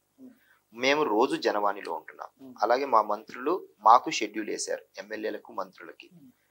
సో మాకేదన్నా సమస్య వచ్చి గ్రామ స్థాయిలో లేకపోతే క్షేత్ర స్థాయిలో ఇబ్బందులు వస్తే అయితే మేము జనసేన పార్టీ మొదటిగా మా వాళ్ళని మెట్లెక్కుతాం. ఒకవేళ అక్కడ సమస్య పరిష్కారం కాకపోతే మా జనసేన నాయకులు ఎమ్మెల్యేలు మంత్రులుగా ఉన్న వ్యక్తులు మే వాళ్ళు రెఫర్ చేస్తున్నారు. అదర్ శాఖలకు సంబంధించిన ఎమ్మెల్యేలకు కానీ మంత్రులకు కానీ. సో వాళ్ళకు ఇచ్చి మీరు ఈ యొక్క వీళ్ళకున్న ప్రజలకున్న ఈ ఏరియాలో మా స్థానిక నాయకులు తీసుకొచ్చిన ఈ సమస్యను రిజాల్వ్ చేయండి అని చక్కగా చేసి రికమెండ్ చేసి మరి రాసి పంపిస్తున్నాం. సో క్షేత్రస్థాయిలో ఏదైనా సమస్యలు ఉన్నప్పుడు ఆ సమస్యను రిజాల్వ్ చేయడానికి మేము అంటే నా దృష్టికి వచ్చినట్టు చెప్తున్నాను. చెప్పండి. టీడీపీకి సంబంధించి జనసేనకు సంబంధించిన సఖ్యత విషయంలో ఎలాంటి పొరపచ్చాలు లేవు. అంటే క్షేత్రస్థాయిలో. అయితే మేము గ్రామాల్లో మరింత బలోపేతం అవ్వడానికి స్థానిక వైసీపీ యొక్క కొందరు నాయకులు ఇంకా ఇబ్బంది పెడుతున్నారు అదైతే నిజమే ఇప్పటికీ వైసీపీని అంటున్నారు ఆహా లేదు ఎందుకంటే గ్రామ స్థాయిలో ఇప్పుడు రాయలసీమ తీసుకోండి. అక్కడ పూర్తి స్థాయి. పరిస్థితులు. అది పరిస్థితులు. నేను అనేది రాయలసీమకు సంబంధించి నేను ఆ Right. సంబంధించిన కాదు. నాకు తెలుసు. అక్కడ ఏ మాత్రము అక్కడ పూర్తి పార్టీలు అని కాదు కానీ. వేరే వాడు ఎవరైనా సరే నన్ను దాటి వెళ్తున్నాడంటే వాడిని ఏదో ఒక విధంగా ఇబ్బంది పెడతారు కొడతారు. లేకపోతే దూషణలు బహిష్కరణలు కుల దూషణలు ఇవన్నీ చాలా సహజంగా జరుగుతాయి. వాటిని మా దృష్టికి తీసుకొచ్చినప్పుడు దాన్ని మేము బియాండ్గా ఆలోచించి దానికి ఒక పరిష్కార మార్గాన్ని వెతికే క్రమంలో చూస్తున్నాం సో ఖచ్చితంగా కొన్ని సమస్యలు ఇలాగా ఇత ఈ పార్టీ నుంచి వైసీపీ నుంచి వచ్చినప్పుడు దాన్ని ఎలా రిజాల్వ్ చేయాలి ప్రజా సమస్యల విషయంలో కూటమి ప్రభుత్వానికి ఖచ్చితంగా మాకు అటు టీడీపీ నుంచి బీజేపీ నుంచి కానీ ఎటువంటి పొరపక్షాలు లేకుండా స్థానిక నాయకుల దగ్గరికి టీడీపీ నాయకుల దగ్గరికి వెళ్ళి కూడా మేము పనులు అంటే ఐ మీన్ ఇబ్బంది పడ్డ ప్రజలకు ఇబ్బంది పడుతున్నారు. వీళ్ళను రిజాల్వ్ చేయండి అనే విషయంలో వారికి డైరెక్ట్ గానే వెళ్ళి వినతులు ఇస్తున్నాం వాళ్ళు కూడా రిజాల్వ్ చేస్తున్నారు. ఇంకొకటి పవన్ కళ్యాణ్ గారు ఇప్పుడు ఒక రకంగా చెప్పాలంటే రాష్ట్రంలో శత్రుత్వం ఎవరెవరితో ఉందో అందరికీ తెలిసిన విషయమే. దేశ రాజకీయాల్లో కూడా ఆయన శత్రుత్వం పెరిగింది ఇప్పుడు. ఎందుకంటే ఆయన సనాతన ధర్మాన్ని గురించి మాట్లాడిన తర్వాత శత్రువులకు అనుకోకుండా ఆయనకి ఇంకా ఎక్కువ పెరిగారు. ఆయన రక్షణ గురించి చాలామంది మీ జన సైనికుల్లో కూడా చాలామంది అనేక అనుమానాలు లేవనెత్తుతున్న పరిస్థితి. ఒకరోజు కాకినాడ గురించి మాట్లాడిన పవన్ కళ్యాణ్ గారికి థ్రెడ్డింగ్ ఉంది అని చెప్పి పెడుతున్న మాట. మరి రానున్న రోజుల్లో అసలు పవన్ కళ్యాణ్ గారికి కేంద్ర రాష్ట్ర ప్రభుత్వాలు ఆయన రక్షణ విషయంలో ఎలాంటి జాగ్రత్తలు తీసుకుంటున్నాయి? పవన్ కళ్యాణ్ గారు జన సైనికులు ఎటువంటి జాగ్రత్తలు తీసుకోకపోతున్నారు? మరి పవన్ కళ్యాణ్ గారిని చూసుకోవాల్సిన బాధ్యత జన సైనికులకు కూడా ఉంటుంది. అసలు ప్రభుత్వాలు కేంద్ర రాష్ట్ర ప్రభుత్వాలు ఏ రకంగా వెళ్- వెళుతున్నాయంట రక్షణ విషయంలో? అయితే ఆ సనాతన ధర్మం విషయంలో అన్నారు కాబట్టి సనాతన ధర్మం విషయంలో ఆయన తీసుకున్న స్టాండు ఆయన మాట్లాడినటివి గతము ఈ రోజు రేపు కూడా నేను నా ధర్మాన్ని పాటిస్తాను నా ధర్మాన్ని ఇతరులు హేళన చేయొద్దు చెప్పండి. నేను మీ ధర్మాన్ని నేనేమి హేళన చేయట్లేదు. సో అందరం కలిసిమెలిసి ఈ దేశంలో ముందుకెళ్ళాలి. ఒకరి మనోభావాలను దెబ్బతీసే రైట్ లేదనేది సనాతన ధర్మంగా నేను పాటించే వ్యక్తిగా ఇది మీ అందరికీ అప్పీల్ చేస్తున్నాను అనేది ఆయన ఓవరాల్ ఇంటెన్షన్. అది కరెక్టే. అయితే అదే చెప్తున్నాను. ఆ. క్రమంలో దాన్ని ఈయన మాకు శత్రువు అయ్యాడు అని కొన్ని వర్గాల వాళ్ళు ఆయన భావించడం తప్పు మొదటి మొదటి విషయం. రెండోది వచ్చేసి ఆయనకు ఒకవేళ అలాంటి ఆలోచనలతో ఉండింటే ఆయనకు సంబంధించిన స్నేహితులు ఆయన సెక్యూరిటీ చూసే వాళ్ళు ముస్లింలు. ఆయన ఇంట్లోనే సాక్షాత్ ఒక ఇద్దరు పిల్లలు క్రిస్టియన్గా వైఫ్ పెరుగుతున్నారని ఆయనే చెప్పడం జరిగింది మనకు తెలుసు. సో ఆయన అన్ని దేశంలో ఉన్న అన్ని రకాలైన మత సాంప్రదాయాలకు తెలిసిన వ్యక్తి అన్ని వర్గాలను కలుపుకు వెళ్ళాలని ఏడు సిద్ధాంతాలు రాసుకున్న వ్యక్తి అలాంటి వ్యక్తి ఒకరికి టార్గెటెడ్గా అవుతారు అని ఎవరైతే ఆయన్ను ఇబ్బంది పెట్టాలి లేకపోతే ఆయన ఏదైనా హాని చేయాలనుకున్న వ్యక్తులు ఆయన అలాంటి వ్యక్తిత్వం కాదు ఫస్ట్ పాయింట్. రెండోది వచ్చేసి గత వైసీపీ పాలనలో ఆయన వైజాగ్ ఘటనను ఒకసారి గమనిస్తే హోటల్ నుంచి బయటికి రాకుండా ఆ, రాత్రి అంతా అభివాదం కూడా చేయని చేయనీయకుండా లైట్లు ఆఫ్ చేసి సెల్ ఫోన్లు వెలుతురులో ఆయన. ఎయిర్పోర్ట్ నుంచి తీసుకెళ్ళాం నోవాటెల్ వరకు. ఆ ఘటన ఒక్కటి మాకు ఆ రోజు నుంచి భయం కలిగించింది. ఎందుకంటే ఆయన హౌస్ ఐ మీన్ నోవాటెల్లో రెండు రాత్రులు కూడా మేము ఆయన్ను ఎంత ప్రొటెక్ట్ చేసుకున్నామో మాకు తెలుసు. మమ్మల్ని రాత్రి రాత్రి హోటల్స్ నుంచి లాక్కొని ఈడ్చుకొని వెళ్ళిపోయారు. కొట్టారు పోలీసులు మమ్మల్ని. విచ్చలు విడిగా ఎక్కడికక్కడ బైండ్ ఓవర్స్ చేశారు. పంచకర్ల అందరినీ దాదాపు పన్నెండు. మందిని ఆ రోజు జైలుకి పంపించారు. సో మేము తప్పించుకొని కొందరము మా అధినేతను ప్రొటెక్ట్ చేసుకోవాల్సిన అవసరం వచ్చిందని ఆ రోజు భావించి నోవాటెల్ చుట్టుపక్కల ఉన్న అన్ని హోటల్స్ బీచ్ రోడ్లో దాక్కున్నాం.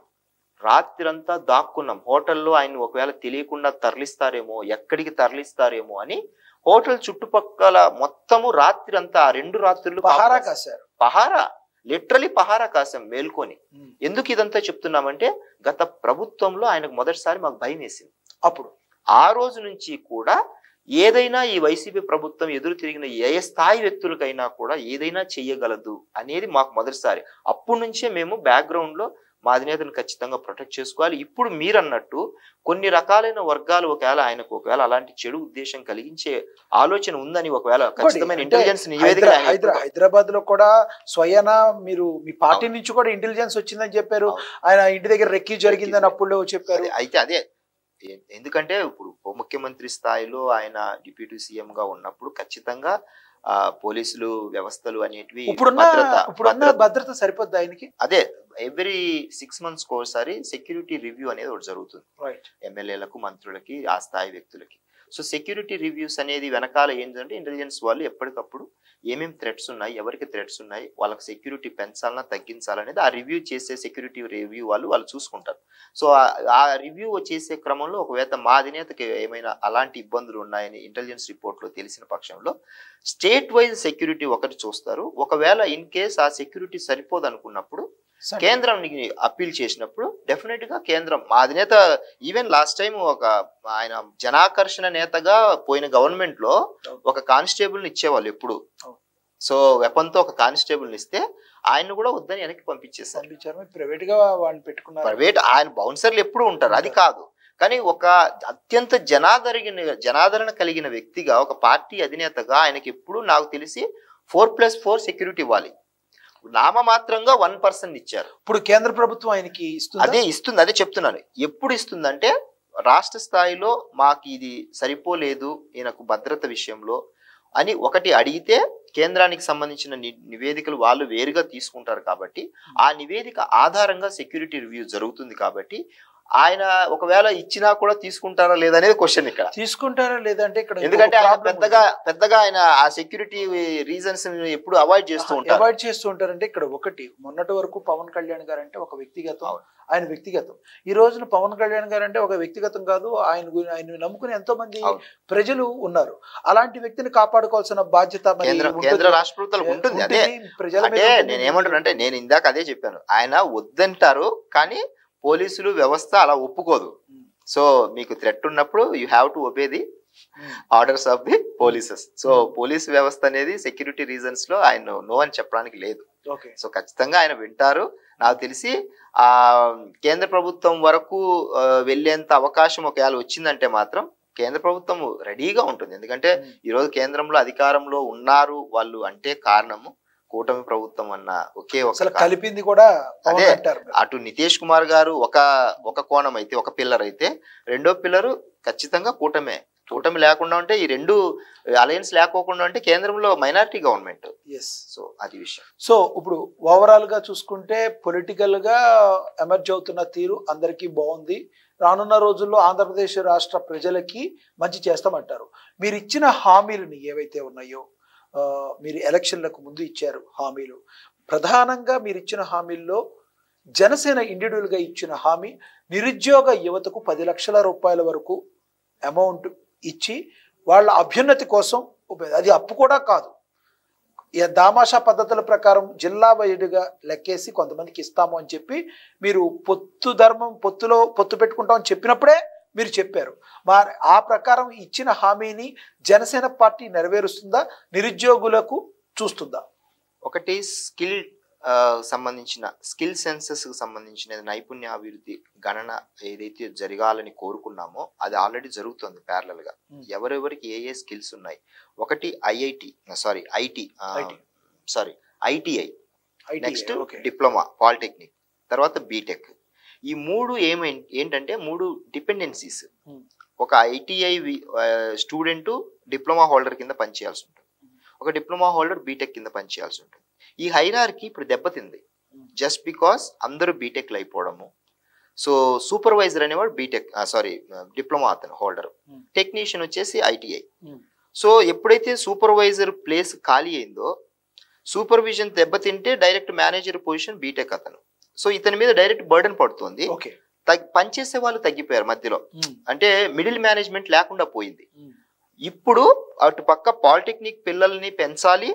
వాళ్ళల్లో ఉన్న స్కిల్ డెవలప్మెంట్స్ ఏమేమి ఎక్కడెక్కడ ఏ ఏ కోర్సులకు సంబంధించినది వాళ్ళ నైపుణ్యాన్ని పెంచుకుంటూ ఈ సంఖ్యను పెంచుకుంటూ మెయిన్ టెక్నీషియన్స్ మనకు తక్కువ సంఖ్యలో ఉన్నారు. సో టెక్నీషియన్స్ను కూడా పెంచుకుంటూ పనిచేసే వాళ్ళకు ఏ ఏ శాఖలలో ఎంతెంత వాళ్ళకు పని మనం కల్పించగలమనే సెన్సెస్ ఒకటి తీస్తున్నాం. అలాగే పది లక్షలకు సంబంధించి. Hmm. ఇప్పుడు ఎంఎస్ఎంఈ అనే చైర్మన్ మా శివశంకర్ గారు తీసుకున్నారు. విజయవాడలో. మీరు ఎనీ టైం ఆఫీస్కి వెళ్ళండి మీకు ఏది కావాలో మీ స్కిల్ ఏ విషయానికి సంబంధించి మీరు ఏ దాంట్లో మీరు పెట్టుబడి గవర్నమెంట్ నుంచి ఆశిస్తున్నారో మీరు మీకు సంబంధించిన ఏ ప్రాజెక్ట్ మీరు చెయ్యాలనుకుంటున్నారో అక్కడ అప్లై చేయండి. మీకు ఎందుకు అది నిజంగా మీకు ఒకవేళ అది మీకు ఎలిజిబిలిటీ ఉండి తప్పకుండా ఎంఎస్ఎంఈ ద్వారా మీకు మీరు అనుకున్న పది లక్షలు కావచ్చు ఎస్టిమేషన్ ఫైవ్ ల్యాక్స్ కావచ్చు మీరు పారిశ్రామికవేత్తలుగా తయారు కావడానికి మేము ఇచ్చిన హామీ ఏదైతే ఉందో అది ఖచ్చితంగా అమలు ఆల్రెడీ జరుగుతుంది. అంటే అది అమలు జరుగుతుంది. ఇంకా ప్రచారం అయితే జనాలకి ఏదైతే మేము ఇచ్చామో హామీని నిరుద్యోగ యువతులారా మీరు చేస్తున్నాం. మీరు మీరు రండి అని ఒక పిలుపుని ఏదైతే జనసేన పార్టీ నుంచి ఎక్స్పెక్ట్ చేస్తున్నారో అది ఇస్తే ఇంకా అందరికీ రీచ్ అవుతుంది. ఇప్పుడు మీరు చెప్పేది కొంతమంది వరకు అది రీచ్ అవుతుంది కానీ అందరికీ రీచ్ కాదు. ఒకవేళ పవన్ కళ్యాణ్ గారు జనసేన నోట్ ద్వారా కానీ ఏదైనా వచ్చింది అనుకోండి నిరుద్యోగ యువతకి జనసేన అండగా ఉంది అని వస్తే ఆటోమేటిక్గా మీకు లక్షల్లో మీకు వేలల్లో మీకు వస్తూ ఉంటాయి అయితే నేను మీరు అన్నది కూడా నేను ఖచ్చితంగా నోట్ చేసుకుంటాను. అయితే ఎంఎస్ఎంఈ ద్వారా చైర్మన్ పొజిషన్లో శివశంకర్ గారు ఛార్జ్ తీసుకున్న రోజు నుంచి. ఉత్తరాంధ్ర నుంచి దాదాపు ఇప్పటికి ఒక టూ హండ్రెడ్ నుంచి త్రీ హండ్రెడ్ అప్లికేషన్స్. తర్వాత గోదావరి జిల్లాల నుంచి ఒక త్రీ హండ్రెడ్ అప్లికేషన్స్ ఇటు కింద పల్నాడు అండ్ రాయలసీమ కలిపి దాదాపు ఇప్పటికి వెయ్యి మంది యువతర యువత వాటికి సంబంధించినవి project different different project files apply చేయడం జరిగింది.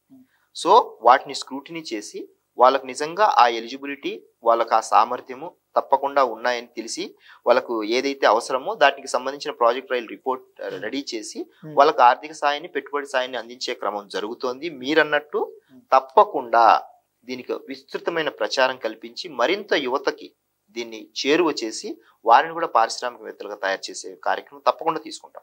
అండ్ ఒకటి ఇప్పుడు ట్రెండింగ్లో ఉన్నది మీ అందరికీ తెలుసు పుష్ప. ఏమైంది? పుష్ప సినిమాకి సంబంధించి అన్ని ఇన్ని ట్విస్టులు కాదు సినిమాలో ఎన్ని ట్విస్టులు ఉన్నాయో తెలియదు కానీ పుష్పకు సంబంధించి ఫ్యాన్స్ మధ్య అంత ట్విస్టులు నెలకొన్న పరిస్థితి. అయితే ఫ్యాన్ అనే కాదు ఒక రకంగా చెప్తారా చెప్పాలి అంటే అల్లు అర్జున్ గారు తీసుకున్న నిర్ణయాలు మెగా ఫ్యామిలీతో పాటు మెగా అభిమానుల్ని కూడా కొంత గందరగోళానికి సృష్టించి వాళ్ళని ఇబ్బంది పెట్టిన మాట వాస్తవం కాదంటారా? అంటే మా అధినేత మాకు ఏం చెప్పారంటే మా అన్నయ్య మెగాస్టార్ అయినప్పటికీ ఆయన సినిమాలకు సంబంధించినది మీరు చాలాసార్లు మాట్లాడారు. మనం రాజకీయ పార్టీగా ఉన్నాము. మనకు ఆయనకు ఎలాంటి సంబంధం లేదు. కాబట్టి సినిమాలకు సంబంధించి వాళ్ళ అభిమాన సంఘం నాయకులు వాళ్ళ ఫ్యాన్ ప్రెసిడెంట్లు మాట్లాడుకుంటారు. మీరు అందులో ఇన్వాల్వ్ అవుద్దని మాకు సంవత్సరం కింద చెప్పారు యాక్చువల్గా.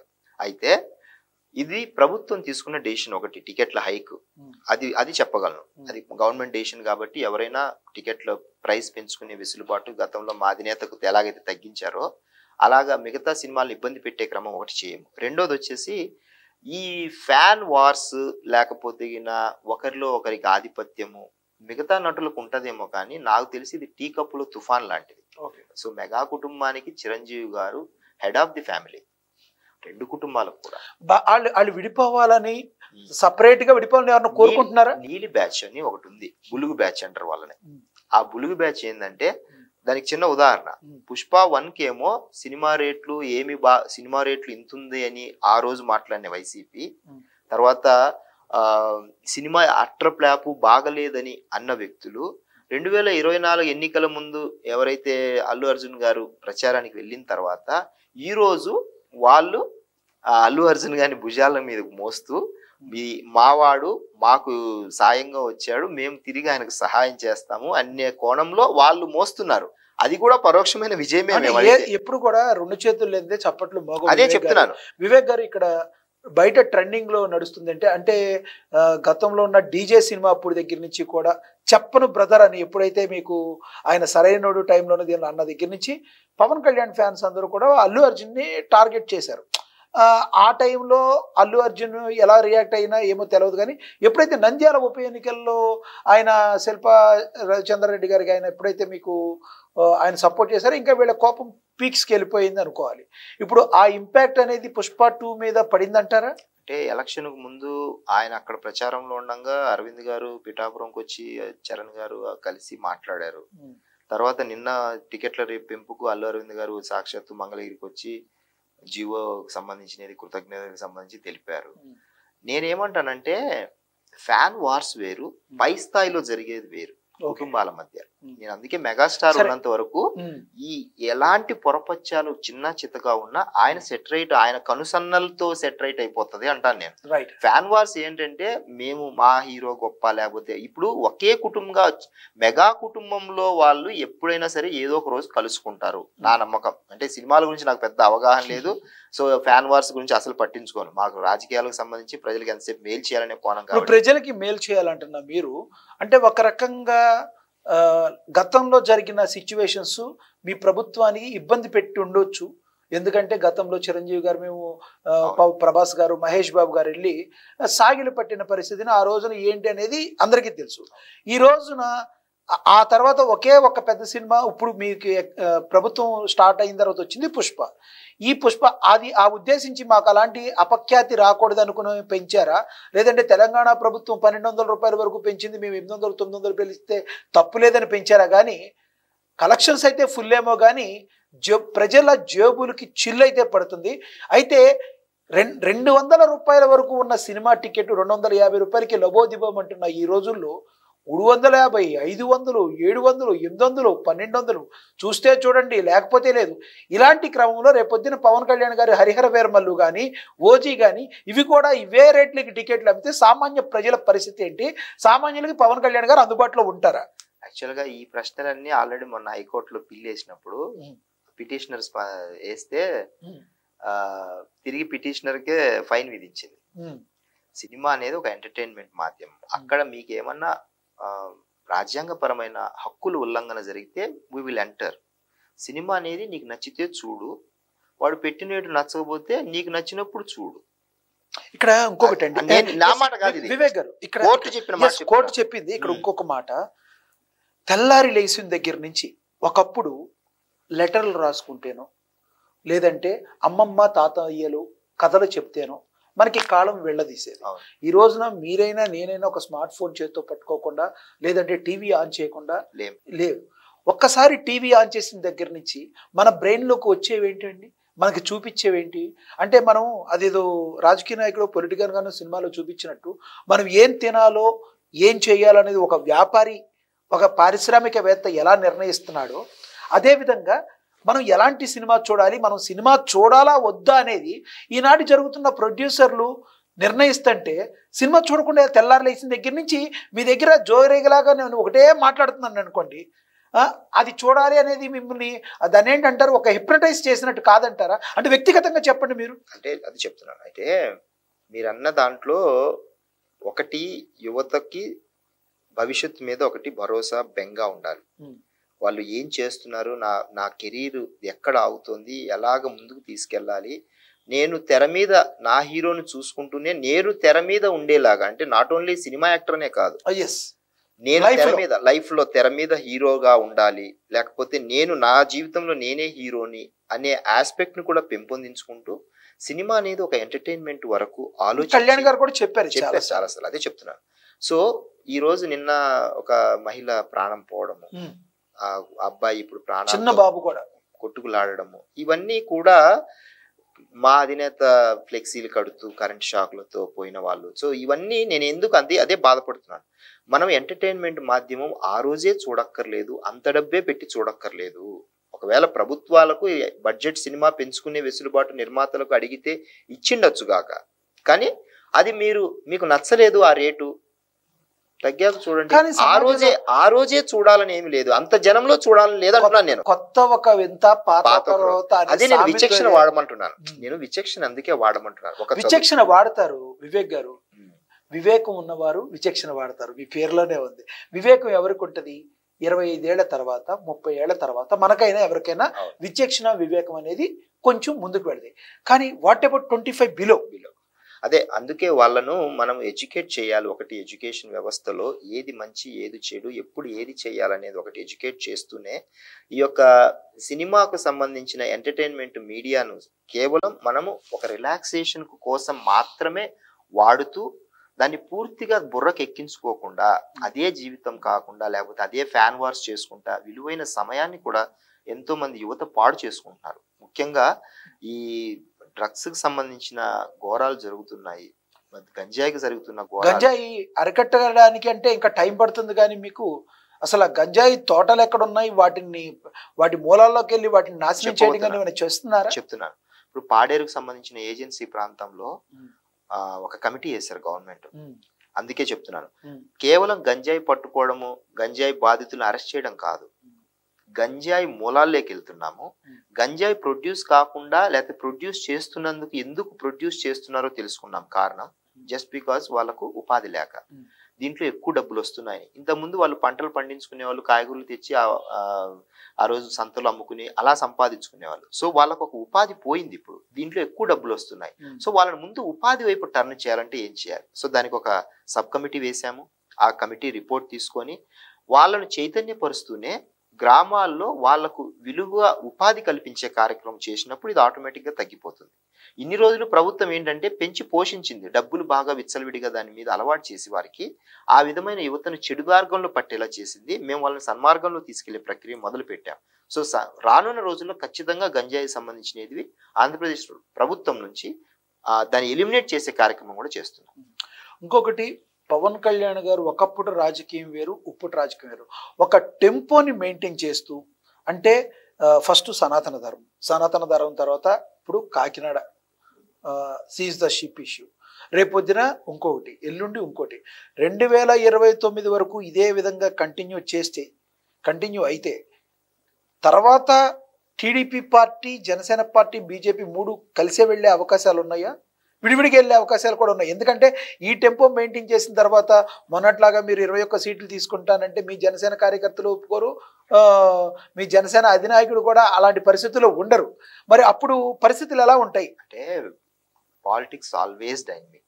సో ఈ ఈ క్షణంలో లేకపోతే ఈ రోజు జరిగినట్టు రేపు జరుగుతాయని గ్యారెంటీ గ్యారెంటీ సో మా అధినేత ఆలోచన ఏంటంటే కూటమి ప్రభుత్వం మంచి పని చేయాలి మొదటగా. ఈ ఫైవ్ ఇయర్స్ టెన్యూర్ ఏదైతే ఉందో ఈ టెన్యూర్ మాకు వన్ సిక్స్టీ ఫోర్ మ్యాండేట్ని ప్రజలు అప్పగించిన దానికి తిరిగి ప్రజలకి ఖచ్చితంగా వాళ్ళు మా నుంచి ఏమైతే ఎక్స్పెక్ట్ చేశారో ఆ ఎక్స్పెక్టేషన్స్కి రీచ్ అయ్యేలాగా మా పనితీరు ఉండాలనేది ఒక నియమం.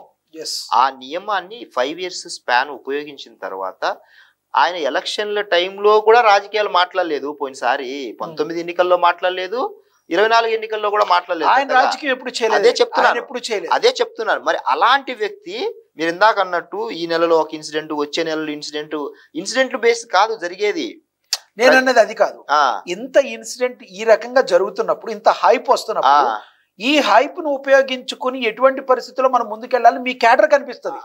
మీ క్యాడర్ కనిపిస్తే అది జనసేన అధినేతకి ఇంప ఇప్పుడు ఒక ఫర్ ఎగ్జాంపుల్ మీకు ఉన్నట్టు ఒక హైప్ వచ్చేసి విపరీతంగా మీరు మంచి స్టేజ్లోకి వెళ్ళిపోయారు. మీ చేతుల్లో ఏముండదు? అవును. అలాంటి పరిస్థితుల్లోకి వెళ్ళిపోతే రేపు పొద్దున తక్కువ సీట్లు తెచ్చుకుంటానంటే ఉపయోగం కదా. ఆ సీట్ల గురించి అయితే గిన టూ ఎర్లీ టు డిస్కస్ సీట్ల గురించి వచ్చే ఎన్నికలు ఇంకా మాకు మొన్న మొన్ననే మొదలు అంటే పెట్టాము విశ్వసనీయ వర్గాల సమాచారం ప్రకారం మీరు ఒక వంద సీట్లో పోటీ చేస్తున్నారని తెలుస్తుంది. ఆ వంద సీట్లో వివేక్ బాబు గారు ఏమైనా ఉంటారా? టూ ఎర్లీ టు డిసైడ్ అదే చెప్తున్నాను మాకు అరవై నెలల పాలన సమయం ఇచ్చారు. రెండు వందల ఇరవై ఐదు నియోజకవర్గాలు యాభై యాభై ఐదు నెలలు యాభై నాలుగు నెలలే అయ్యింది. So too early to discuss చాలా ప్రజలకు చేయాలని మేము ఒక రోడ్ మ్యాప్ వేసుకున్నాము ఎవ్రీ సిక్స్ మంత్స్కు ఆ రోడ్ మ్యాప్లో పనులు జరుగుతున్నాయా లేదా. ఇప్పటికీ మీకు ఇందాక చెప్పాను.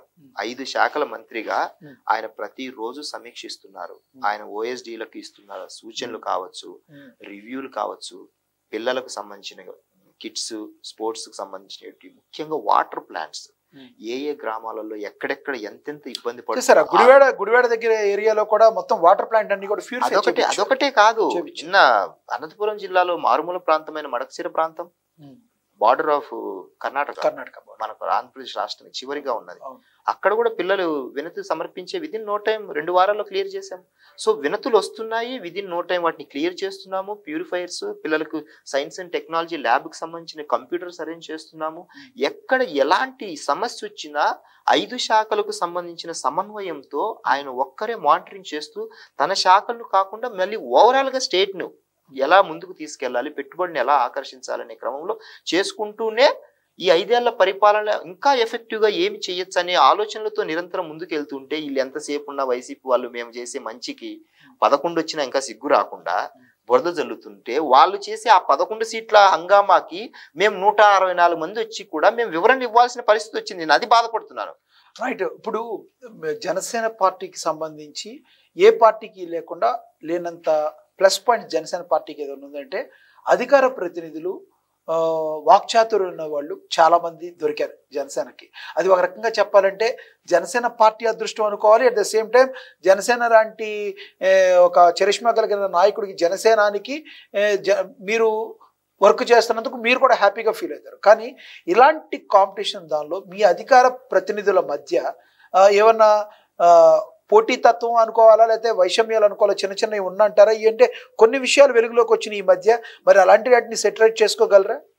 అంటే యాజ్ ఆఫ్ నౌ నాకున్న అవగాహన మేరకు మా మధ్య అయితే హెల్దీ డిస్కషన్స్ ఉంటాయి. ఒకటి. రెండోది ఏంటంటే మాకు ఒకవేళ ఇన్ఫర్మేషన్ ఏదన్నా అంటే ఈ రోజు ఈ సబ్జెక్ట్కు సంబంధించిన ఏదైనా ఇన్ఫర్మేషన్ కావాలంటే మేము అది షేర్ కూడా చేసుకుంటాం. సో ఇందులో గత ప్రభుత్వం తాలూకు నాకు కొన్ని ఫ్యాక్ట్స్ అండ్ ఫిగర్స్ కావాలని అనుకున్నప్పుడు సో ఎక్స్చేంజ్ ఆఫ్ వ్యూస్ ఉంటాయి. Hmm. సో పోటీతత్వం అంటే ఆరోగ్యకరమైందే. Hmm.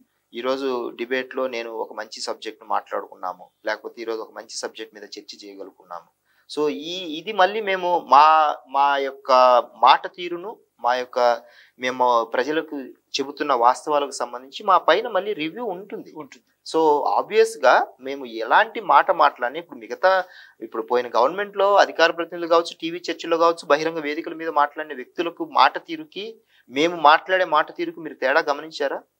మేము ప్రజలకు అర్థమయ్యే రీతిలో సౌమ్యంగా పద్ధతిగా మాట్లాడుతున్నాం. వాళ్ళు ఏ రోజే కానీ డిబేట్కి వచ్చి డిబేట్లలో చెడ్డ మాటలు మాట్లాడి మమ్మల్ని ప్రొవోక్ చేసినా కూడా మేము తిట్టించుకున్నా మా అధినేతను తిట్టించుకున్నా కూడా మేము విదిన్ మాట్లాడాం.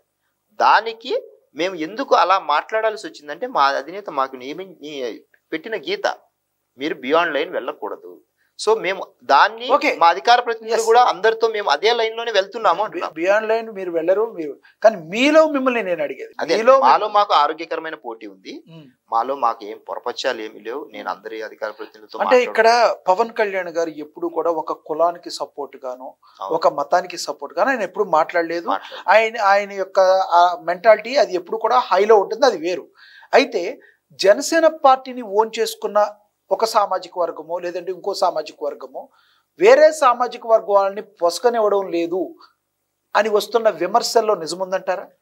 ఇప్పుడు సహజంగా ప్రతి పార్టీలో కూడా సామాజిక వర్గాల పరంగా ఒక హై అంటే నాది ఎక్కువ రోలు అనేది ఆ పార్టీ అధినేతల సామాజిక వర్గానికి సంబంధించిన వ్యక్తులు ఇన్ఫ్లుయెన్స్ చూపిస్తారు. సహజం అది. కానీ వేరే జనసేన పార్టీ దగ్గరకు వచ్చేసరికి దానికి ఉదాహరణ చెప్తాను చూడండి ఇప్పుడు వైసీపీ పార్టీ అనేది ఒక సామాజిక వర్గానికి సంబంధించిన ఐదు శాతం వారి ఓట్ బ్యాంక్ ఉంటే దాదాపు ఆరు వందల డెబ్బై పదవులు ఇచ్చారు పోయిన గవర్నమెంట్ వాళ్ళకి అంటే వాళ్ళకి మామూలుగా లెక్క ప్రకారం. నూటికి ఐదు ఐదు సీట్లే ఐదు చోట్లనే వాళ్ళకు రావాలి మామూలుగా ప్రతి చోట ఐదే ఐదు వందకు ఐదు. కానీ వాళ్ళకి ఎన్ని ఇచ్చారు. వందకు ఇందాక ఆరు చెప్పినట్టు. ఆరు వందల డెబ్బై వచ్చాయి so six hundred percent hike వాళ్ళకి. ఎక్కువ తక్కువ మంది ఉన్నా ఎక్కువ వచ్చినాయి అంటారు. అంటే అంత స్టేక్ తీసుకున్నారు. Because Hmm. We are belong to that community because of my president అనే కోణంలో. వేరే జనసేన దగ్గరకు వచ్చేసరికి ఆయన సామాజిక వర్గాలు ఏ రోజు భుజానేసుకోదు ఫస్ట్ పాయింట్ ఆయన సామాజిక వర్గాల పరంగా ఆలోచిస్తే దామాషా పద్ధతిలో Hmm. జనాభా ప్రాతిపదికన తీసుకున్నా కూడా twenty two sorry twenty five to twenty seven percentage అన్ని రకాలైన ఆయన సామాజిక. కలిపి అన్ని కలిపి. మరి ఆ దామాషా పద్ధతుల్లో ఖచ్చితమైన జనాభా ప్రాతిపదికనే వచ్చాయి. మొన్న కూడా పదవులు. మీరు గమనించి చూసుకుంటే కావాలని లెక్కలు తీసుకోండి. సో ఒక ఒక్క దానికి సామాజిక వర్గానికి బైండ్ అవర్ అయ్యి ఏ పార్టీ ఉండదు. ఒకవేళ ఉన్నా అది ఖచ్చితంగా failure. Out of twenty one twenty one ఎందుకు కొట్టాము? మిగతా సామాజిక వర్గాలు సపోర్ట్ చేయకుండా గెలుస్తామా. ఒకరే ట్వంటీ సెవెన్ పర్సెంట్ ఆయన సామాజిక వర్గం ఎంత ఒకేలా ఓన్ చేసుకున్నప్పటికీ కూడా సిక్స్టీ పర్సెంట్ ఓట్ బ్యాంక్ కలిస్తేనే కదా మిగతా పర్సెంటేజ్ ఎవరు మిగతా సామాజిక వర్గాలు వచ్చినట్టే కదా? సరే ఇప్పుడు చెప్పండి మరి. వివేక్ గారు నెక్స్ట్ ఇరవై తొమ్మిదిలో ఏం ఎక్స్పెక్ట్ చేస్తున్నారు జనసేన నుంచి? రానున్న రోజుల్లో మీ సేవలు రాయలసీమకి ఉపయోగిస్తారా కోస్తాంధ్రకి ఉపయోగిస్తారా? మీరు ఈ- ఈ మీ దగ్గర నుంచి ఏం ఎక్స్పెక్ట్ చేస్తారు? ఎందుకంటే ప్రజలకి మీరు వివేక్ బాబు గారు అంటే ఓకే బాగా మాట్లాడతారు. ఆయన జనసేన పార్టీ సిద్ధాంతాలని ప్రజల్లోకి బాగా తీసుకెళ్తున్నారని ఒక పేరైతే బాగా ఉంది. మరి మీరు మరింత సేవ చేయడానికి మీరు ఏం ఎక్స్పెక్ట్ చేస్తున్నారు పార్టీ నుంచి? పంతొమ్మిదిలో నేను ఎక్స్పెక్ట్ చేయలేదు. ఆయన పార్టీలోకి రమ్మన్నారు. ఒక మా జర్నలిస్ట్గా పనిచేసేటప్పుడు పార్టీలోకి నువ్వు రా నువ్వు కావాలి నువ్వు నాకు అని పిలిచారు. అదే ఊహించని పరిణామం నాకు. పిలిచిన వెంటనే ఆయన దగ్గరగా కలిసి పనిచేసే అవకాశము ఈ నాలుగు ఐదేళ్ళ పాటు అతి దగ్గరగా ఆయన అడుగులు అడుగు వేసుకుంటూ ప్రతి చోట వెళ్ళిన జ్ఞాపకాలు ఇంకా సజీవంగానే ఉన్నాయి. పిలిచిన పార్టీలోకి వచ్చిన వెంటనే అధికార ప్రతినిధిగా నియమించారు. అది ఊహించలేదు. సో ఒక మార్పు అనే లక్ష్యంతో లోక్సత్తాలో మేము పనిచేసినప్పుడు ఒక రాజకీయ పార్టీలకు సంబంధం లేని వ్యక్తుల కుటుంబాలకు వచ్చిన వాళ్ళము. సమాజం కోసం ఏదైనా మేము కూడా చెయ్యాలి అనే తపన ఉన్న వాళ్ళం కాబట్టి ఆ మార్పు లక్ష్యంగా పనిచేసే క్రమంలో ఆయన ఎదురయ్యారు. ఆయన ఎదురైనప్పుడు సహజంగానే ఆయన భావజాలం మా భావజాలం ఒకటే అయింది. రెండోది ఆయన ఊహించుకోకుండా మమ్మల్ని చాలా ఉన్నతమైన స్థానంలో పెట్టారు. ఆ ఉన్నతమైన స్థానానికి హండ్రెడ్ పర్సెంట్ నిజాయితీగా పని చేయాలనేది మా. మనస్ఫూర్తిగా నేను మనస్ఫూర్తిగా నమ్మి పని చేస్తున్నాను కాబట్టి ఇంత ధైర్యంగా ఇంత గర్వంగా చెప్పగలుగుతున్నాను. ఇదో ఏదో ఆషామాషిగానో లేకపోతే నటించో చేస్తే అంత కమిట్మెంట్తో మేము పని చేయం సో ఏదో ఆశించి కాదు ఏదో పదవి వస్తుందని కూడా కాదు. ఈ రోజుకి కూడా అదే టెంపోతోనే ఉన్నాం అదే చిత్తశుద్ధితో ఉన్నాం అదే సమాజంలో మార్పు కోసం పనిచేయాలనే కృతనిశ్చయంతో ఉన్నాం. Right. ఏదో ఏదో ఆయన రేపు మమ్మల్ని అధికార ప్రతినిధులుగా నియమించారనో లేదా ఇరవై తొమ్మిదిలో ఏదో పదవి వస్తుందనో కాదు. పదవి అనేది రెండో బాధ్యత అది. మొదటిగా ప్రజలకు బాధ్యతతో పనిచేయాలి పదవి అనేది రెండో హైయెస్ట్ సో బాధ్యతగా పనిచేయాలి. మీకు ఏది కూడా మీరు ఆలోచించి మీకు రాలేదు అదే విధంగా ఏది వచ్చినా నేను స్వీకరిస్తాను ఆయనతో పాటు నా ప్రయాణం అంటారు. అంతే సింపుల్గా చెప్పాలంటే ఆయన ఎక్స్పెక్టేషన్ ఎక్స్పెక్టేషన్ అంటే ఆయన ఈ పలానా బాధ్యత ఇచ్చి ఆయనే చెప్పారు ఒకసారి. అడగందే అమ్మాయిని అన్నం పెట్టదని పవన్ కళ్యాణ్ గారు ఈసారి ఆయనకి ఖచ్చితంగా ఎదురైతే అడుగుతాను నేను. అడుగుతారు? అడుగుతాను. Note this point Vivek. Babu garu ఇందాక అలా మాట్లాడారు ఇప్పుడు అలా కాదు. అంటే ఐదు శాఖలకు సంబంధించి ఆయన ఐదు శాఖలు నాకు ఇష్టమైన శాఖలే. ఓకే. సో ఐదు శాఖల్లో ఒకవేళ ఎవరైనా ఎక్కడన్నా సార్ వేకెన్సీ ఏమన్నా ఉందా? అని అడుగుతాను నేను.